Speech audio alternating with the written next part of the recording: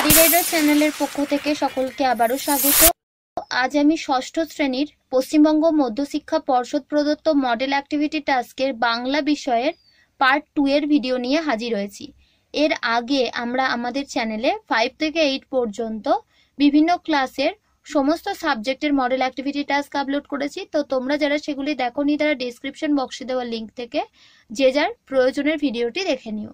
তো চলো শুরু করা যাক একের দাগের প্রশ্নগুলি। এখানে বলা হয়েছে, নিচের প্রশ্নগুলির একটি বাক্যে উত্তর দাও। ও তো পথিক জনের ছাতা। পথিক জনের ছাতাটি কি? গ্রীষ্মের দুপুরে অশ্বত্থ গাছ তার অজস্র শাখা প্রশাখাকে ছাতার মতো বিস্তৃত করে ক্লান্ত পথিককে ছায়া ঘেরা আশ্রয় দান করে। তাই অশ্বত্থ গাছকে পথিক জনের ছাতা বলা হয়েছে। কি দেখছিলে বাইরে? এই প্রশ্নের উত্তরে শঙ্কর কি বলেছিল? এই প্রশ্নের উত্তরে শঙ্কর ঘাবড়ে গিয়ে মাস্টারমশাইকে বলেছিল যে সে শঙ্খচিল দেখছিল। তিনের প্রশ্নে রয়েছে, স্বপ্ন সে দেখে দিনরাত দুলে দুলে। কার স্বপ্ন দেখার কথা বলা হয়েছে? হাইনরিক হাইনের লেখা পাইন দাঁড়িয়ে আকাশে নয়ন তুলি, কবিতায় পাইন গাছের স্বপ্ন দেখার কথা বলা হয়েছে। মন ভালো করা কবিতায় কবি রোদ্দুরকে কিসের সঙ্গে তুলনা করেছেন? মন ভালো করা কবিতায় কবি শক্তি চট্টোপাধ্যায় রোদ্দুরকে মাছরাঙার সঙ্গে তুলনা করেছেন।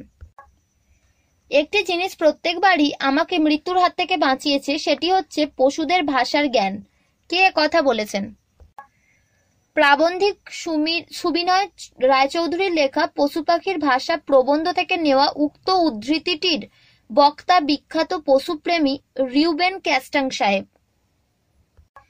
ছয়ের প্রশ্নে রয়েছে, ঘাসফড়িং কবিতায় কবির সঙ্গে ঘাসফড়িং এর নতুন আত্মীয়তা কখন শুরু হয়েছিল?